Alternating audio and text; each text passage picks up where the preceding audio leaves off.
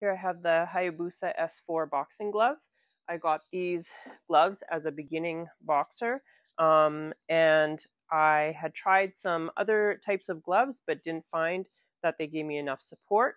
Um, so I got these um, because they had uh, good reviews for good um, wrist support and also a nice ergonomic fit.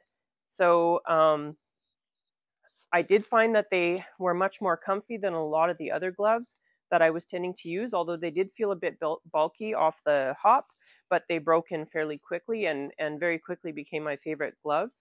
Um, they have this great microfiber thumb that helps uh, to wipe sweat when you're boxing. It also has this great um, wide Velcro band, and there's only one. Some of them have two. I like that this one only has one because it's much easier for me to do up when I have my other glove on.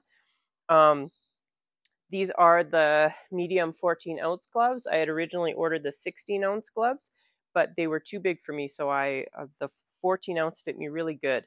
Um, they also have great knuckle padding, uh, so if you're doing a long training session, uh, your hands don't get sore, and um, still lots of uh, room for movement, so you don't feel too restricted or anything while you're wearing them.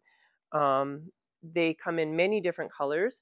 Uh, the only problem with the white is that I found that some of the color of the bag um, went onto the top of the glove here, but uh, not really a big deal. It doesn't affect the, the usage of the glove at all. Overall, great glove. I would definitely uh, buy another pair. They have them available in real leather as well and in lots of different colors.